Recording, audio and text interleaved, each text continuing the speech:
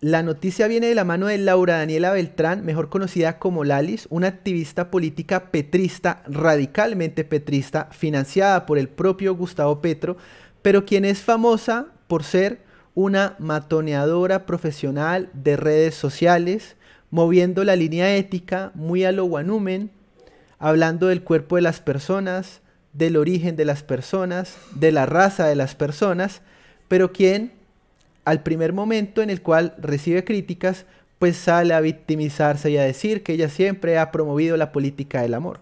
Así que en este video vamos a ver que de hecho es todo lo contrario, a Duque no lo baja de cerdo, a Marta Lucía Ramírez no la bajaba de bruja, a Federico Gutiérrez no lo bajaba de narcotraficante, y así sucesivamente vamos a desenmascarar parte de este pseudoactivismo que se escuda bajo la idea también de libertad de expresión, pero que al final, repito, hacen el daño, tiran la piedra, esconden la mano y resulta que esta activista política, y en, esta, en este video no vamos a compartir eh, los memes ni todo este matoneo, pero sí mostrar la contradicción de esta activista, porque con la vara que ella estaba midiendo ha sido medida y hoy es el reír del país.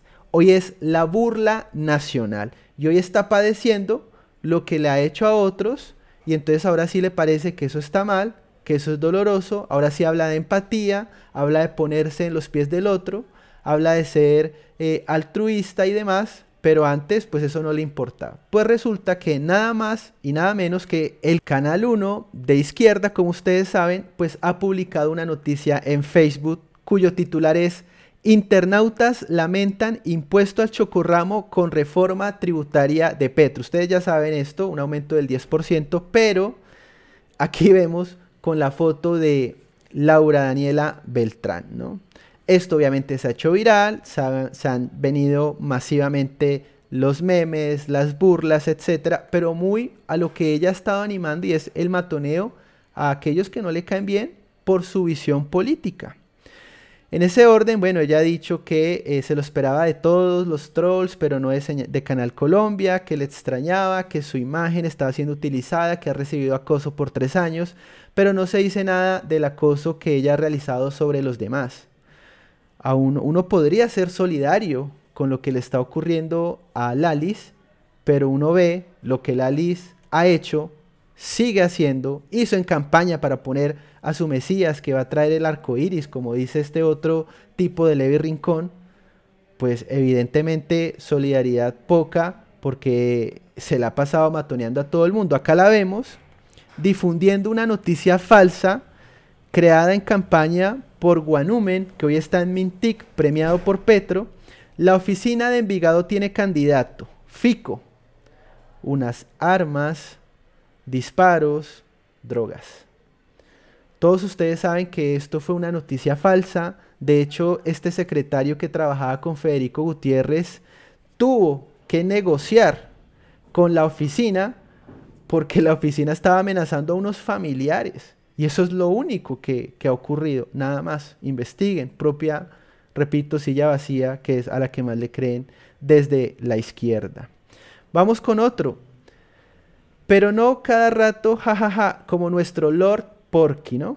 Ellos, este matoneo recurrente contra Iván Duque, incluso en algunos momentos contra su madre, contra otros miembros de su familia, contra su esposa por su forma de vestir, etcétera, ¿no? Así que ahí se lo recuerdan, ¿no? Solidaridad, pues la verdad es que Lali no se merece esa solidaridad. Dice ella que la libertad de expresión es algo que no se negocia para mí. Bueno, vamos a ver si va a respetar la libertad de expresión del Canal 1 al poner esta imagen. Vamos a escuchar brevemente a esta matoneadora profesional hablando de la vicepresidente Marta Lucía Ramírez. Digo que estoy muy aburrida de la política. y nosotros y usted, señora, estamos mamadas de mantenerla. Y obvio que va a estar mamada. ¿Dónde va a conseguir trabajo si ahora el presidente es Petro? Me pregunto yo. Así que le toca sacar la poca dignidad que tiene para decir, ay, yo no quiero trabajar en política. Nadie te va a contratar, brujis. Ahí lo tienen, la burla es su forma de hacer activismo, de hecho lo hizo recientemente también con algunos activistas pro vida que manifestaron su descontento por esa posesión ancestral de Gustavo Petro y ella básicamente los insulta, los trata de ignorantes, etc. Pero ella, bueno, vive en la impunidad, ¿no? El cerdo que diga se quedó con Guaidó. Bueno, nuevamente refiriéndose al presidente. Y acá un amigo de ella también. A veces exige respeto y exigía respeto por Lalis, pero repito, esta gente se merece poco y nada. Por esa puerta chiquita vemos a un señor horrible, vemos a un señor lleno de peculado, vemos a un señor con la barriga llena de comida chatarra largarse, que se la pasó toda la presidencia hartando hamburguesa, tomando cumis y tocando guitarra. Se gastaba la plata del presupuesto nacional con la misma celeridad que se comía un plato de sobrebarriga, chicharrón y frijoles se la pasaron con este cuento, ¿no? Esto incluye a Wally, a Lalis, muchos otros, refiriéndose al aspecto físico del presidente, pero apenas se refieren al aspecto físico de Lalis, pues ahí sí ya todos están indignadísimos, ¿no? Expertos para indignarse, ¿no? Acá nuevamente hablando de eh, Lord Porky, etcétera, pero veamos también un poco eh, del Alice recién arrancaba esto diciendo como a mí nada esto me importa, nada esto me afecta, yo me amo, etcétera, etcétera. Pero realmente eh, una persona que actúa como Lalis, matoneando a todo el mundo en redes sociales, pues precisamente no es una persona que viva feliz consigo misma y que tenga una política del amor como evidentemente ya ha quedado mostrado en este video y en mi vida hay demasiado amor y empatía. Y eso es lo que lo que lo que enciende la llama de la revolución el amor. Yo me amo tanto pero tanto. Yo me veo hermosa todos los días. Entonces cuando uno se ama y cuando uno entiende el mundo desde el amor es cuando uno dice no pues yo soy hermosa y la gente es hermosa y a la gente hay que apoyarla y a la gente hay que defenderla y, y allá se gesta la empatía entonces a mí no me afectan este tipo de cosas. Yo gracias a Dios me amo mucho, entonces lo que usted me diga, sinceramente me da igual. Lo que uno tiene acá es lo que se vota, la praxis. Pues ya hemos visto qué es lo que tiene adentro Lalis, fuera del chiste, y lo que ella ha votado ¿no? o ha mostrado al exterior contra los opositores políticos. Pues acá tenemos una Lalis reciente durante esta semana que al parecer pues ya no se ama tanto y que eh, al parecer ese bullying pues ya está mal y hay que pensar realmente en cómo puede afectar esto a muchas personas. Eh, muchas de ellas incluso, bueno, no soportan el bullying. Recordemos que eh, Gustavo Bolívar, Beto Coral y otro activista de izquierda que se me escapan, terminaron llevando al suicidio a dos personas, ¿no? Por el ciberacoso en redes sociales. Casi cuatro años he estado siendo acosada por personas en redes sociales Em, que incluso llegaron a tomarme una foto en una movilización y a raíz de eso se volvió viral y duré en tendencia en Twitter varios años. Y gracias a todo eso me he tenido que soportar años de matoneo, de bullying y de acoso, a tal punto de no sentirme segura en la calle cuando la gente me mira e intenta tomarme fotos. Y yo espero si en los siguientes minutos o horas voy a tener que ver esa foto en un meme en redes sociales. Y creo que para ninguna persona, a pesar de su opinión política o de su posición política, deba aceptar vivir con eso y deba aceptar estar siendo perseguida por un grupo de personas que no son capaces de debatirle a uno con argumentos. Quiero bueno, pues la misma Lalis que se refiere al cuerpo de las personas está hablando que los demás que le hacen lo mismo, pues no son capaces de debatir con argumentos. ¿no? Hablarles un poco de la responsabilidad de los medios de comunicación porque Allí ella ya comienza con este tema, hablando de Canal 1, pero digamos que en suma ha sido medida con la vara que ha medido a los demás. Durante todos estos años el acoso había hecho un hueco dentro de mí que me obligó a usar ropa más grande, a salir a la calle y a comprar muchos buzos grandes como este para no sentirme observada por la gente, que me tomó alejarme de las relaciones interpersonales porque mi mente martillaba todo el tiempo lo fea que era o lo fea que me veía la sociedad.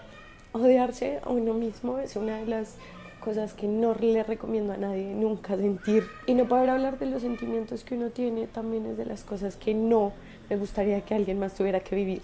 No querer vivir tampoco es una sensación que me gustaría que alguien más sintiera. Y hago este video no solo para dejar constancia de lo que está haciendo Canal 1 y que voy a tomar las medidas respectivas jurídicas ante el acoso que estoy recibiendo de parte de ustedes. Bueno, pues esperamos que la LIS haya aprendido una buena lección, que eleve el nivel del debate, que deje de desprestigiar con noticias falsas, que deje de desprestigiar atacando el cuerpo de las personas, el origen de las personas, porque ya ha atacado a los venezolanos, que deje de desprestigiar por la raza, como ha atacado a Miguel Polo, que deje de desprestigiar a un Fico Gutiérrez, repito, moviendo la línea ética, diciendo que o insinuando que era narcotraficante o algo por el estilo, una ridiculez, pero todo esto fue el juego que jugó la izquierda para ganar las elecciones y de un momento a otro dice, no, perdón social para todos, olvidemos el pasado, en fin, por la forma en que se llega, con esa forma se gobierna, y lo decía mucho Sergio Fajardo, y si usted tuvo que hacer todo eso para llegar, pues cómo será cuando esté gobernando. Lamentablemente hoy en Mintic está el propio Guanumen premiado, está hasta el papá de Guanumen premiado. Así que esperemos que esto no sea un peligro para que estigmaticen y persigan a la oposición y a los nuevos activistas que estamos dando esa batalla por la libertad, por la democracia y por las instituciones de Colombia. Compartan este video, difúndanlo en canales de Telegram, grupos de Facebook, grupos de WhatsApp y recuerden que pueden apoyar esta labor por acá abajo a través de Neki, David Plata y acá arriba a través de mi cuenta de Patreon desde tan solo 2 dólares al mes. Compartan en todas las redes, dejen su me gusta y un abrazo para todos.